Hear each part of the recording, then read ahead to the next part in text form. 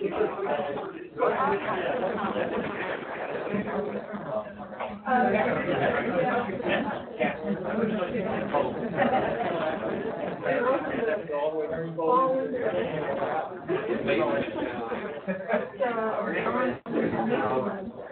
I think we could get started now. I didn't think- You guys all passed the test? The survivor. Typical snafu. This is a new one now, isn't it? Yeah. Um, I'm just gonna make this fast. I want to introduce our speaker today, and I want to get right down to hear what he's got to say. But, uh, just a little bit of background. Uh, Reed Lewis, uh, got, did his undergraduate work at University of Idaho, his master's at University of Washington, and he did a PhD at Oregon State Corvallis. Um, after that, he did some contract mapping. He spent a couple of years in Saudi. Uh, he spent two years working for the Bureau as a contract mapper, uh, and, and he, he, uh, compiled the Butte two degree sheet that we all still use all the time. And then, uh, in ninety-eight, he moved back to the Idaho Geologic Survey, where he's been ever since, and now he is acting director. Um, uh, I think he's fighting off becoming the actual practicing director. Great situation. Trying not to do a good job, Yeah. Anyway, go ahead, Bruce. Well, thanks a lot for inviting me over here, you know. My wife Karen and I had a couple great years here in, in Butte and, uh, doing, uh, mapping around Philipsburg, Montana, and it really doesn't get a whole lot better than that, so, so have very fond memories of, of working in this, uh, area and, uh, and these rocks. And also, since I was unemployed and came in and Mark Miller gave me a job and I got a chance to work with Sam Porter, it was like kind of a little, a life-saving event too, so it was, it worked out really well. Uh, okay, what I want to talk to you today about is this uh, Great Falls tectonic zone. Um, not that I've worked anywhere near Great Falls, but I've worked quite a bit along this, uh, might say along strike into Idaho, and so I kind of thought I'd sort of bring our perspective from Idaho back this direction and and uh, and see what we know about this.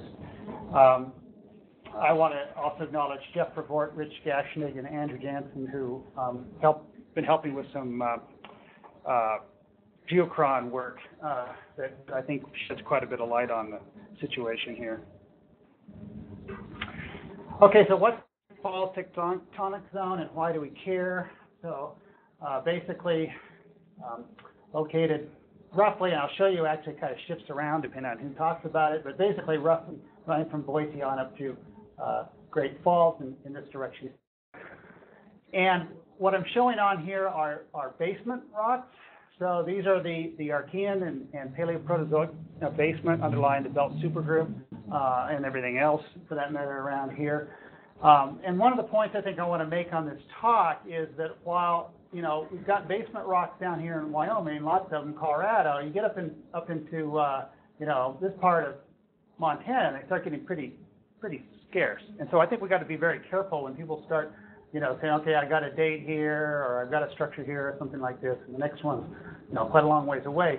We're playing with a very, very small number of, of exposures of these basement rocks. So I think that's important because this has been thought to be a really old basement structure, Precambrian basement structure. Okay, let's go through some of the, just uh, start out with just a little bit of the history behind this before I start talking about some of the field work I've done in Idaho and the dating we've done in Idaho. Uh, but this is basically uh, um, the figure that, um, that uh, O'Neill and Lopez published in 85, outlining this Great Falls tectonic zone right through here. They had pointed out that there's this um, big shear zone up here in, in Canada, separating the Churchill province and Superior province. So they were speculating that, that we were looking at, at possibly uh, essentially the northwest edge of the Wyoming province.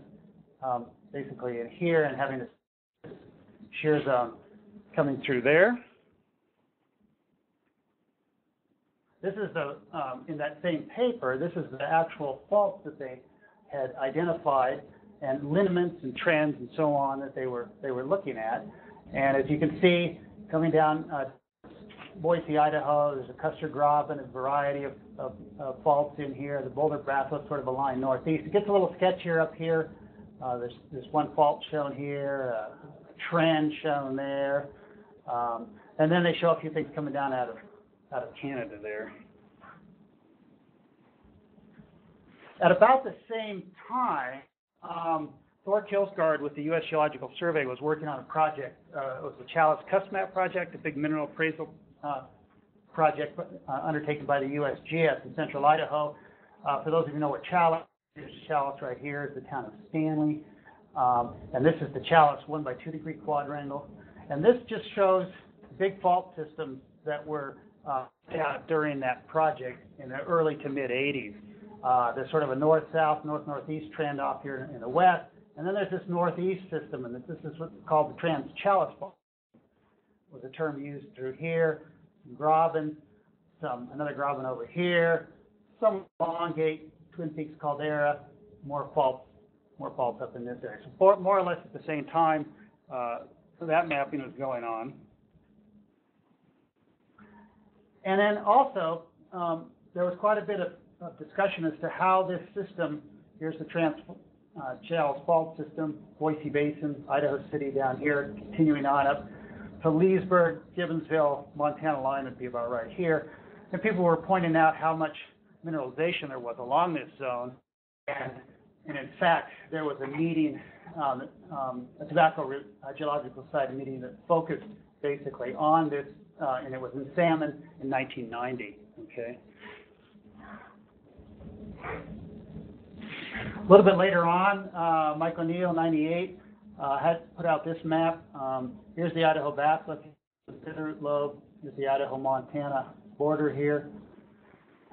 And talked about this feature in here as being a suture between um, two Precambrian blocks of rock here. And, and noted, this has been noted actually a long time ago, but you've got this, this uh, zone of, of metamorphism down here in the Tobacco Root Mountains, which he thought was, um, you know, associated with the juxtaposition position of these two uh, basement blocks. And here's the cross section that he that he, he drew um, in this paper. And basically, um, here's the Archean, Wyoming province here, the Archean Hearne province here, the suture in here. So bringing basically two big blocks of rock here together um, back in the Precambrian. And then more recently, the work by uh, Foster, and other folks at um, uh, University of Florida, um, again looking at blocks that they think are, are these, you know, pre- Precambrian blocks, Hearne. Now we have a name for this piece south of the Hearne, the Medicine Hat. Um, Great Falls tectonic zone. As You see here, it actually has kind of shifted from being that thing that was kind of up by Great Falls. It's kind of drifted a bit to the east. So this really isn't at all coincident with those faults that were originally mapped um, or, or postulated by um, um, O'Neill Lopez. And importantly, this tectonic zone has started to take on kind of a an area or a map, a boundary. In other words, it has a two sides to it. Instead of just a bunch of shears, it's actually now kind of a domain of relatively young rock. You see, it's got uh, 1.8 billion to 1.77 in this zone, and then older rocks in the Wyoming Craton and older rocks in the Medicine Hat. Okay, and I think that's an important uh, distinction or important change in, the, in thinking um, of this of this zone. Um, even more recently, by um, O'Neill, but also joined by uh, Sims and Lund. So this is more USGS uh, work, where basically here's the Idaho border right here, and they have um, the Great Falls shear zone now back off to the west here, which is more or less um, where the original Great Falls tectonic zone was located in the original mapping. Um, and then they have this trans-Montana fold and thrust belt out to the southeast. Okay, and then various, um, here's the Wyoming Craton, point being, again, got the Wyoming Craton and then other different rocks off to the northwest. In that same publication, um, again, you end up with um, the zones having, in this case, this green, a stark green, a magmatic arc terrain, 1.9 to 1.85 GA, having some northwest and southeast dimensions to it, okay? So, um, instead of just a simple shear zone, this is basically a uh, thought to be a magnetic arc terrain, um, running along in a northeast direction there. And again, they speculate on the ore deposit connections. In this case, they're talking about, um, uh, they, they have two different categories. So basically, all the little blue dots are, are, are, uh, occurrences, metal occurrences, not necessarily productive mines, I don't think, but, um, but anyway, occurrences. And they're pointing out that, you know, quite a few of them show up basically on or near this, this uh, magmatic arc terrain, although obviously things are a little more complex than that. They're getting outside the zone a little bit. Okay, so that's sort of the history of what people have said about it. Now I want to tell you a little bit about what I've seen and what I know about it. Um, and I didn't have time to make the plot, but basically starting in Boise and running to Great Falls, the amount I know about this zone just steadily drops, okay? And so once I get into Montana, I'm really out on a limb. I can tell you, at least I can get you to the Montana line with some, some confidence here. Uh, so here's Boise. This is the state geologic map of Idaho. Here's, here's, um, probably don't know where any of these places are. Stanley's just off here. Here's the South Fork of the Payette River. Basically, we have this series of trendy shear zone cutting the pink unit here, which is Idaho batholith, southern lobe of Idaho batholith. So we know that these shear zones are actually post dating the late Cretaceous batholith. Okay, and in fact, they also cut some of the Eocene plutons, which are here in this uh, brighter red color. Okay, so some of this movement is also, um, you know, Eocene or, or, or even potentially potentially younger. Um, nice, nice linear valleys in here. So that's a, this is a South Fork, this is the South Fork of the path there, and these valleys right here are the, where the, the main trace of the fault. But it's a very interesting area because there's these, basically this whole zone is crushed and altered rock through here. And there's these huge white patches where there's nothing growing. Get a lot of land, uh, a lot of debris flows and slides and stuff off. So lots of, of uh, crushed rock, a lot of alteration. And here's a shot from a helicopter looking down off at one of these faces. Uh, the dark zones are, are um, uh, dikes that are, you can see little offsets of the dikes here, there. And virtually no vegetation on this. This is, every time they get a big rainstorm up here, uh, the South just turns brown, just mud brown because of all the material coming out here. Thor Kiilsgaard and I were walking out along this ridge here, actually almost crawling along this ridge, and there was a there was a big fir tree, big Doug fir tree, maybe I don't know, 300 years old or whatever, something like that, that had three of the roots were exposed. Okay, that it just basically so this tree was right on the crest of the ridge. Okay, and three feet of material had been removed since that tree started growing. So even if it's like a 500 year old tree or whatever, we're talking serious amounts of erosion here. And also there's hot springs. This is the Kirkham Hot Springs. I'm not convinced that all of these are along necessarily the Trans-Challis faults. A lot of them are along the north-south faults, but you also get quite a few hot springs along there. These structures, I, so I think they're pretty steep structures going down. Okay, if you come uh, from Stanley, then we're basically what I was just showing you was down off to the southwest here. From Stanley, as you come back um, up and stay uh, west of Challis, northwest of Challis, get in orange here are the Challis volcanics, and then in these greens and browns are, are the belt supergroup equivalent rocks. Um, and then this is batholith over here, and basically you start you start getting these grabens dropping the Challis down in here and up in here. Okay, so again, these northeast trending structures in this area are pretty young. This is a USGS map of the Salmon National Forest. Um, the, town of Salmon is off to the east here. This is the Bear Track uh, mine.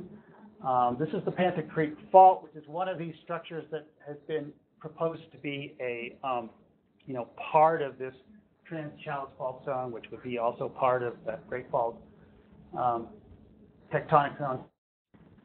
This one I'm kind of skeptical about. Um, As you can see, it doesn't really offset any of the Precambrian rock units coming through here at all. Um, admittedly, Panther Creek is kind of straight, but I'm not sure that that's such a big player in here. A bigger player, I think, is this Hot Springs Fault up here. Um, so I think of some of this Trans-Challis movement is stepping off to the north and to the west, um, up into this area. Uh, I think the Bear Track mine is really interesting because there's actually, a can't quite see it, but it, there's a fault that's dotted um, right in through here on the USGS map, and I, I wouldn't be surprised actually if that doesn't turn out to be kind of a bigger structure, possibly hooking down into this here. And the Bear Track mine is basically right where there's a slight bend in the fault. And we see that this has got, you've got Cretaceous age on the sericite here, and we get gold mineralization in a lot of places in the Cretaceous. And a couple of the bigger deposits are right in bends in uh, what I think fall, probably moving that would strike flip motion in them. And uh, so I, I haven't done any work in here, I'm just speculating, but I kind of wonder if the Panther Creek fault is a little bit of a red herring here, and people start to maybe looking to the south there. Okay, so the trend I was just showing you, basically Stanley's right in here, so it's showing you these right up through here. Um, I think the fault step um, off here a little bit more to the west and are out into this area. The strong northeast grain is, is right in here, not so much in this salmon area. So I don't think that this zone comes right up through here. I think it actually starts stepping off to the to the northwest. You'll all just, you'll probably most of you are familiar with the Basin and Range, uh, beautiful valleys over here around Challis, uh, the Pahsimeroi Valley, uh, right here. We've got a series of northwest trending normal faults uh, down on the southwest side. So here's one of them right here, down the southwest side, dropping these basins down, uh, raising the ranges up. Those come up here to Challis, and then they pretty much die out. You don't see any of that basin and range looking stuff right here. And I don't think it's an accident that you've got this trans Challis fault zone uh, here, and that's ending there. I think what's happening is it's transferring that this extension to the northeast and the southwest is potentially more of a strike slip motion along some of these northeast trending faults in this, area. A lot of action in the last month down by Challis. We're getting a bunch of little earthquakes, not very big, but but it, you can feel them in Challis, and I think that's basically at the northern end of this structure here, um, but may also be near where some of this northeast activity has been happening in through here. Okay, this is where I start to go out on a limb here. As I move into Montana.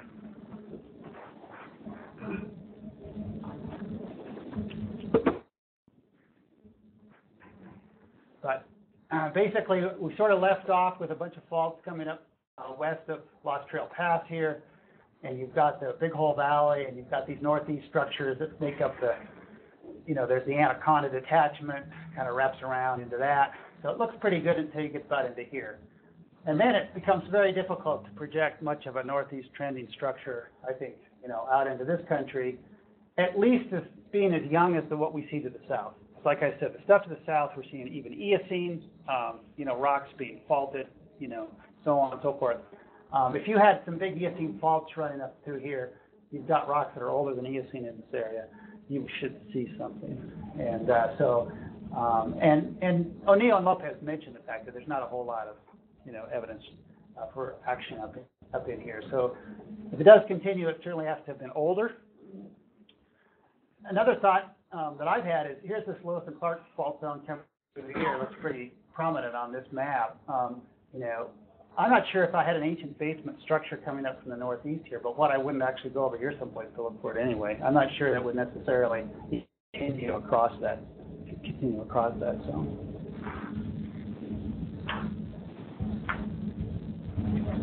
Okay, let's move on now to some of the data that um, O'Neill and Lopez were talking about. They also and mapping out those faults that they showed. They also put together this map with basically uh, magnetic anomalies, um, gravity anomalies, you know, gravity anomalies, showing this northeast grain in through here, going down into the salmon area, but there's also sort of the northwest grain as well. I really like these air mag maps. Uh, you can just sit and stare at these, I think, all day long. I don't think we know what they mean, but they're really cool. Um, here's, here's, um, so basically, here's sort of the big picture. So you see these big, uh, these big sort of structural grain or magnetic grain, um, you know, something like this, sort of sweeping around here, um, you know, several sort of parallel magnetic highs. Then you got this thing here, kind of a north-northwest high, going like that. Um, so this, this Great Falls tectonic zone, if it has an area, it's been postulated as something like, you know, this area right in here. But, you know, I think you could start drawing lines kind of like this. I'm not sure you necessarily need to say that's going to connect into any of this stuff right here. So the Canadians have uh, been using this stuff a lot for for a long, long time to help them map up in Alberta places where their rocks are covered, base rocks are covered. Um, it's kind of hard to see where the heck you are on this thing, but um, this is the Wyoming province. Here, this WP, Great Falls tectonic zone. Again, here giving a, you know, you sort of have an edge to it, all right? And then up into this Medicine Hat block, the Vulcan structure is right in there. The point that they make in this paper, this is a thousand paper, um, is that basically they say, well, you know, they think some of these structures basically come right through here, okay? That they don't see necessarily evidence for kind of a truncation on this northeast, on this northeast grain. Same with the, with the regional, uh, gravity here. There, here's the Great Falls tectonic zone, and they're saying, well, you know, not terribly convinced this is, you know, somehow being truncated or somehow greatly different. And when they look at just the long wavelength uh, data, um, here's the Wyoming province again, Great Falls tectonic zone, Medicine Hat block. It's pretty hard to, you know, put some kind of a northeast structure, you know, through there. This is the big kahuna right here. Nobody seems to be talking about. Um, I mean, if you're just intro level geophysics, I would say that's the one you're, you know, should be looking at here. You're having a hard time running stuff up through this. Okay, one of the things I do when I'm mapping, I actually got started doing this, trying to tell different plutonic rock types apart, is do magnetic susceptibility. It's basically fundamental how much magnetite is in these rocks. We take a little magnetic susceptibility meter and, and take a um, as it turns out, the Eocene granodiorites are loaded with magnetite. Okay, so this would be something that would give you a nice air mag high. On these granites are too. They don't have any mafic minerals in them, but what little they have tends to be magnetite. So this is uh, Lolo Hot Springs Pluton. There's some neoproterozoic diorites in central Idaho. These things are just loaded actually with magnetite. Actually, a lot of ilmenite in some of them. This is on Big Creek, central Idaho, in the wilderness, and and uh, this is the easternmost of one of those plutons right here. Shows up nicely on the mag map. No, we don't have a lot of Archean in Idaho, but um, this is up by Priest River, and again, um, this is an orthogneiss, 2.6 billion year old orthogneiss that was uh, dated by um, Ted Doughty and uh, and Cham- Doughty and Chamberlain, I believe, or possibly Parrish. Anyway, again, this thing has got a lot of magnetite in it. Okay. Um, as are some of the younger orthonites. This is up by Coeur d'Alene, uh, the hill. We now know the rocks just immediately south of Coeur d'Alene and those road cuts turn out to be Paleoproterozoic orthogneisses and Archean um, amphibolites.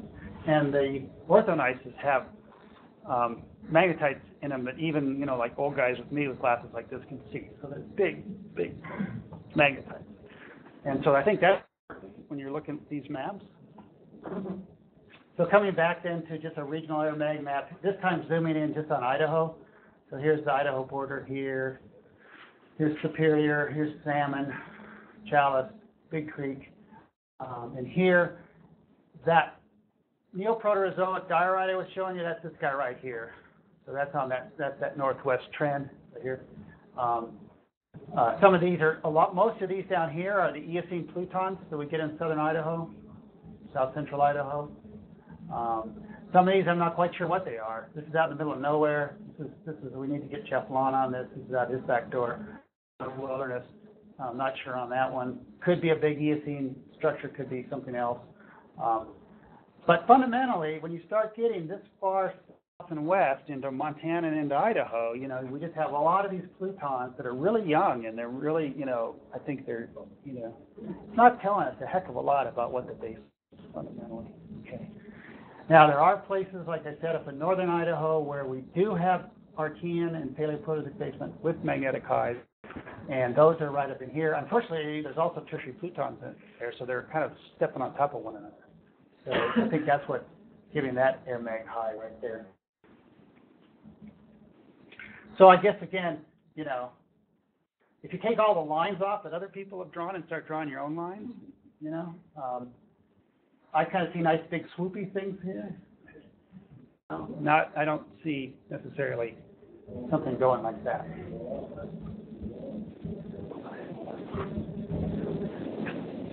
Okay, so again, back to this, this figure. Um, the, the idea of having, uh, you know, the, this block being different from that block, well, maybe yes, maybe no. Um, look at the ages they're showing here, not, you know, greater than 2.5 to me is the same as 2.6 to 3.3. Um, so that's still, I think, an open question for the state of Montana. And unfortunately, there's not a lot of, this is, all these rocks are covered, you've got to get that out of drill hole data. There's not a lot of data for the medicine hat. Okay, the, um, Tekla Harms has been promoting this, this concept of a, of a big sky orogeny, and this really goes back to that figure I showed from O'Neill from ninety-eight, where you've got the, the tobacco roots, you've got this, uh, metamorphic event in here, um, and the, uh, what she's calling the Great Falls Tectonic Zone here coming down something like this, just northwest of it. But this is, you know, this is a, you know, a little bit younger story here than the um, ages of the the Pluto stuff in the Little Belt Mountains. In fact, I should probably back up here just if I can do that. Great Falls Tectonic Zone, the dates that Foster and others have gotten. This 1.86 is really important. Okay, there's several plutons of that age. But then they show this ranging all the way down to 1.77, okay, as this zone. Okay, so that's a long period of time, really. Um, and I'm not so sure, but what the 177 isn't the big story here as far as the the fault zone. And so I think this big progeny is real and it's really is really important. What's not real, in my view, is this concept of having a of a, uh, basically this arc. Remember those, those, um, those slides that had the, basically sort of an area in here, which was this 1.86 or 1860 MA magmatic arc, being called the Little Belt Arc, okay? Um, that's, that's restricted to the Great Falls Tectonic Zone. And the reason I say that is, is that we're now finding same age rocks that have been found here and here, okay? We'll find them there, we'll find them there, the Canadians have got them up here, okay? And this comes back to my point of we don't have a whole lot of rock to look at, okay?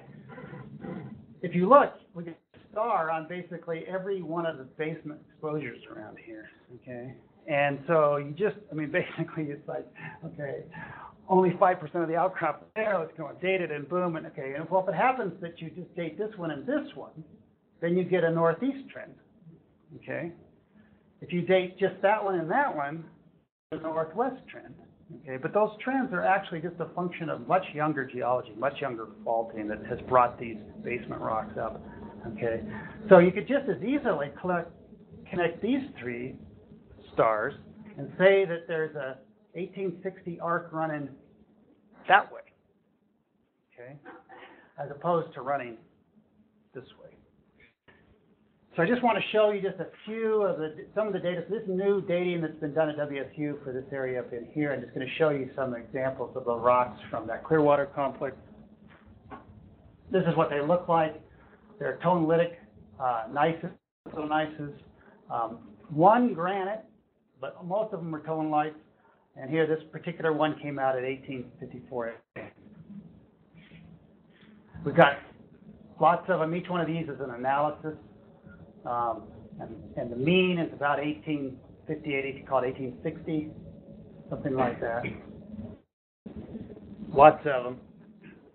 Archean, a little bit more banded rock and not as common, um, but uh, got a 2651, 2660 ages on those. Like I say, not so many, but again, about 2.6 billion or so. Okay, so what this is going to take a second here, but what this shows is um, a compilation of ages. Because I was kind of looking at that map that Foster and others had, you know, and it says Wyoming's this, and the Medicine Hat is that, and this is that. I was having trouble understanding why people were drawing lines around those blocks. So what I did is go in and, with the help of a student, um, Andrew, um, basically compile the ages for um, from the northwest up in Canada, the Monashees, basically kind of south and east to the Wyoming province in a general general way. Okay, and then here is age.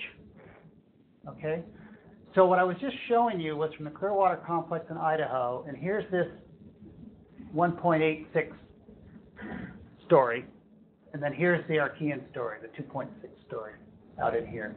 You can see Monashees, very similar. This this 1.86 Medicine Hat block, no, only some of this older stuff. But again, not many analyses. I wouldn't be surprised if people could get a little bit more drill core from there. Boom, you'd have some over here too. Okay, just not enough data. Priest River Complex, we're getting now both the 2.6 and the 1.86. Like I said, Clearwater Complex, the Little Belt Pioneer Mountains, all coming in with this younger age. Um, although I think in the Big Belts, there's a thesis that was just completed that um, has an Archean. I want to say actually they've got one poorly constrained Archean too, actually, in the Little Belt Mountains. So basically, from the Monashees down at least into sort of central, north central Idaho and uh, into the Little Belts, a pattern developing. A little bit different as we go south into Idaho. Um, we're not picking up this this young component um, until you get clear over to the Black Hills. And then the Wyoming province is missing that 186, and then it's just got a pile, pile of other older rocks in it, okay? People also started looking at, at uh, for, I don't know, it's been 10, 15 years now, I should say, at the cores, ages of the cores, inherited cores in zircon in granitic rocks, particularly the Idaho batholith. So if you got a, you know, you're missing your base, you got this huge bunch of plutonic rock, what are you going to do about imaging that basement, where it came from, what it's come up through? And this is pretty amazing uh, work that's being done now. People can, you know, basically use a laser, zap a 30 micron across hole, get an age for these things. And what's turning out is you get these old, um, oftentimes you get these old core. Here's one 2552 core here. Um, here's a 2575 core here, and then a, then a Cretaceous rim, 67 million year old Cretaceous rim growing around it. This is exactly why it took forever to get batholith dated. Okay, because if you were to grind these, you know, up and analyze those, you'd get a kind of a weird average age out of all that. Okay, but now they're actually being able to date individual domains within these zircons. What it shows is the southern part of the batholith has got, um, you know, quite a bit of old, this old 26, 25, 26, this, this um, Archean age, okay? And then a big gap in here, not a lot of ages until you get down to Grenville ages, one, you know, or even, or say Belt and Grenville ages. And then, of course, a lot of Cretaceous ages as well. As opposed to the northern part of the batholith, where, you know, um, you do get a lot of the 186 material coming in here. So quite a quite a change. I'll show this in a different way, maybe a little more clear. Um, there seems to be kind of a line here through the through the southern lobe of the batholith, and um, um, at the very southern end, you get an age distribution like this, which is basically sort of this bimodal thing with none of these, um, you know, 1860 kind of ages. And you go north of that line, and all of a sudden, there's a whole bunch of that stuff. Okay, so very different age, uh, distribution here in the inheritance from down here to up, to up here. Well, that kind of fits in a general way where this, you know, this Great Falls tectonic zone slash trans-Challis zone should go through. Not exactly, but it, you know, so maybe there is something to this, you know. I think there's actually more difference down here between these two domains than what you guys are seeing up in the Great Falls area. Okay, so there might, there might be something to this. This may actually be the northwest edge of the Wyoming craton, right in through that zone. All right.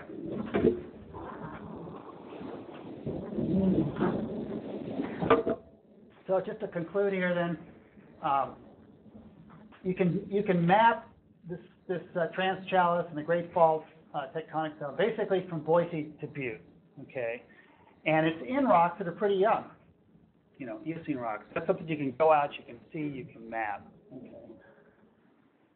From northeast of Butte and into the Great Falls area, you know, good luck. It just doesn't, in my view anyway, never having tried to go out there and map it, but I kind of trust some of the people here that have been mapping out there. Um, I think you would see it. Okay, if those if there's faults out there, they're not very big. Let's just say. Um, it may well mark the northwest extent of Wyoming province. Okay. Um, I don't know that for sure, but certainly in Idaho, um, like it was shown, the zircons, it uh, it's suggestive anyway that you seem to be going into some other basement domain as you go as you go to the northwest. Like I said earlier, the view of the basement structures is really skewed by the exposure patterns, and those patterns have, you know, a lot of it has to do with where the metamorphic core complexes are that have brought these basement rocks up. Okay, and so if you get a date from one of those things, great. Go down the road, you date another one, you got two points, you got a line, but you better better be careful with with that sort of thing.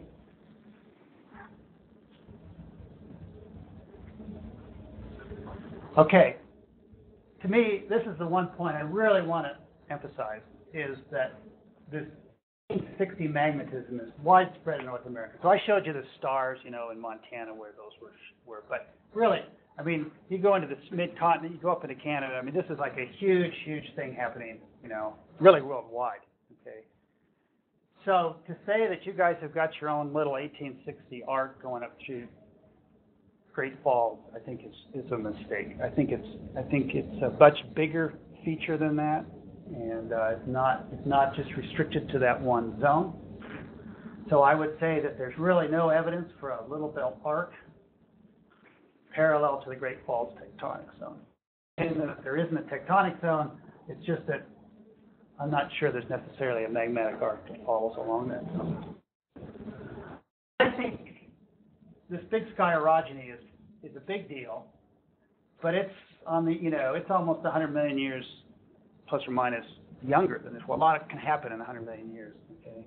And I think that's the one that may have brought some of these things, you know, together, um, and and is real, and is is why we have a lot of those north that northeast grain.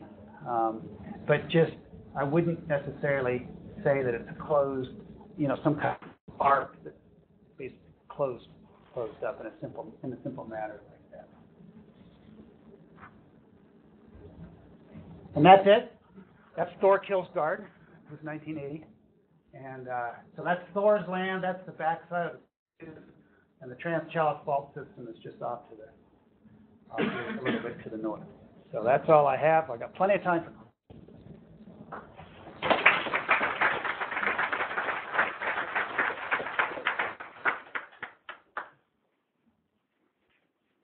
certainly one down here. You know, From an economic standpoint, it seems like there's there's lots of evidence for sort of line, cal- mineralized caldera who's on these and these locations. Right. All the way from Boise. Yeah, yeah. So, I- Just from that standpoint, the structural control, mineralization, I think that's, that's believable. Yeah, no, I, I would agree. being full sunlight, just needs to be here. But, but maybe extending it up in the Ocala property, so, yeah, it's, it's a little shaky. Yeah, just from the economics Yeah, yeah. real? Yeah, yeah, yeah.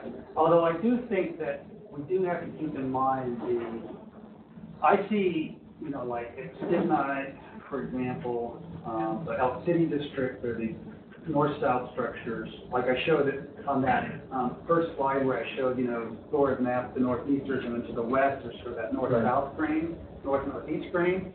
And some of the biggest gold production is actually coming, or a lot of, you know, not insignificant, come along that zone too, so, um, but I know I would agree. And, I mean, there's clearly gold associated with the ESC event itself.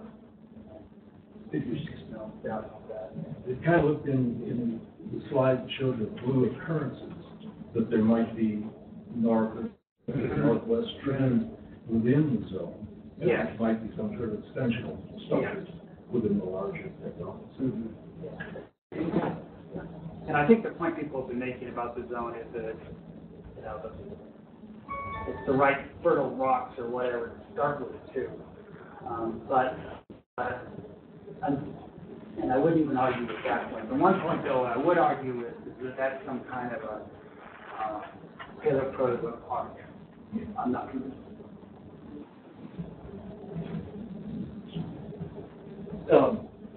The basin range valley, uh, south of the wall zone and Trans-Challis are, they're really active. And so if there's all active extension that's somehow being accommodated off that Right. structure, I believe be more active. Well, I think it's hard to recognize in that country an active strike signal. Much easier to recognize an active and normal. So I would argue that if those things come up, you're getting mostly strike slip along that now. So what was, you know, before we had grabens and so on forming, you know, during the Eocene and that northeast orientation, I would argue now that this could well be strike slip. If you move especially if you step out of the Montana and you move some of that, that uh, basin range to now to the north and east. And I think it would be hard to see that. Um, even Borah Peak Scarp is going fast. Mean, you know, if you just go out and look at what happens to these fault scarps in the ditch. If you move them strike slip, I'm not sure, but five years later, you'd even be able to know that. I don't know. Um, Well, you, you're talking about topographic or whatever Yeah. evidence, but how about, is there any, any no active seismicity along that? You, you mentioned. Well, there is, right at, you know, right at Challis, right now, happening the last few weeks, there's seismicity along there. Um, and so, I guess the question would be, is that just simply the northern tip of the Borah Peak action that's propagating north? Or is it somehow related to, you know, possibly starting this, um, you know, starting the transfer? Um, And I don't, that, I don't know the answer to that. It could be one or the other, but it seems, it seems to me odd that it would, basin range faults would just sort stop unless there's somehow got a transfer. Check that motion. There's not a lot of great, um. No. He's the one who always tells us about earthquakes.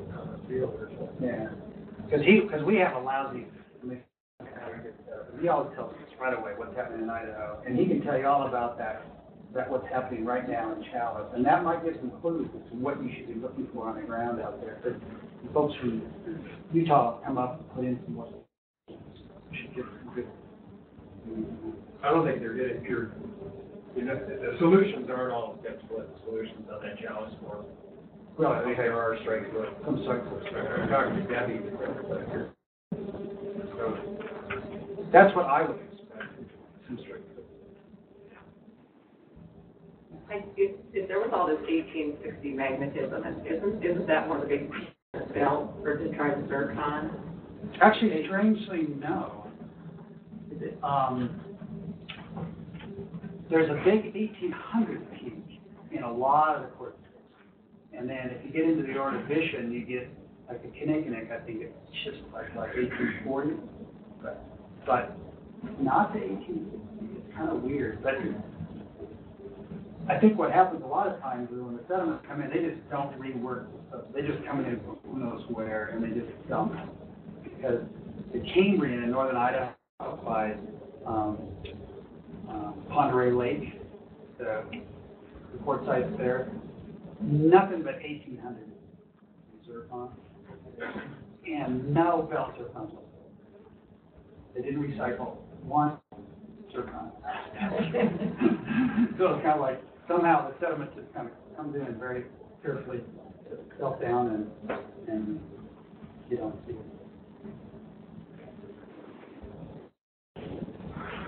Um, can we look at Dave Foster's map? Because that one suggests that there's some kind of a basement structure along the Montana-Idaho boundary there. And he, he actually, I mean, he's got that, it's based on some, uh, Uh, are you talking now about this thing? yeah, so notice that he's pretty, pretty non-committal about what exactly is going on, Right. uh, in Idaho. Yeah, so this is that Farmington zone, and they have some Yeah. dates, I think, down by, um, Salt Lake City, where they've used to, um, to, def- you know, define this as being somewhat younger. So they've got, this is older than, younger than five coming up here. But then basically you've got, again, here's your control problem.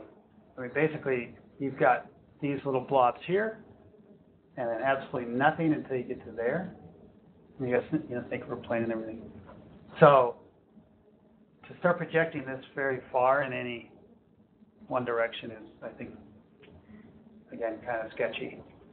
Well, I know that one of his data points is in the Pioneer batholith, where he was looking at technetium hafnium ratios or something like that, and looking at basement signatures. Right, right into, yeah, There, and yeah. that's why he put that big ninety degree bend in there, because he. yeah. He had a different, the Pluton was, on the east was different from the Pluton Right, on the west. right, Right, right. right, right, Right. yeah. And maybe, Yeah. I mean, you know, I'm, I'm not opposed to that. Well, I just wonder how much this, uh, tertiary and quaternary brittle faulting, I mean, maybe it's not related to basement structures at all, maybe. Yeah, right. Is that kind of Maybe, where you're yeah. going? I mean, I don't think we know. I sort of, my feeling is we just need to back off just a little bit here. I mean, I think we just don't quite get this thing yet. And I'm, and there's a couple things, or one thing I'm pretty sure it's not, it's an eighteen sixty arc. Beyond that, I think we just really don't know. I have another one. Okay? Um, the Arctic line, Mm-hmm. Yeah, and I think it was in one of those figures. okay.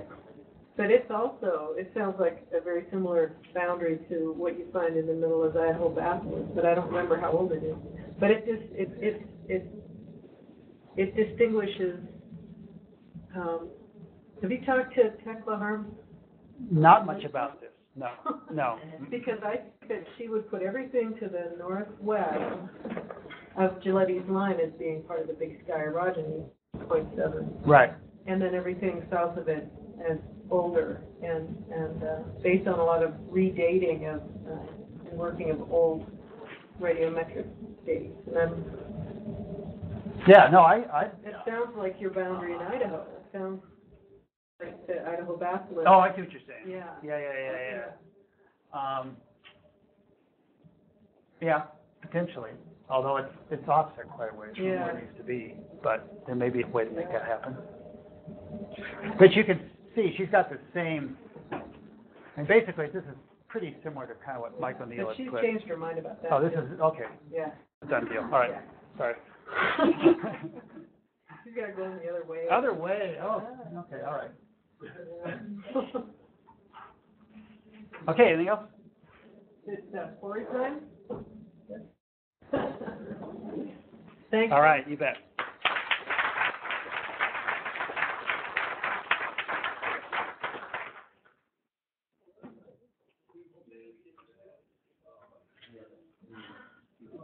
know, there, so many different things that define that and they're not. Everybody's kind of using it for their own purpose. Right, yeah, well. It moves around,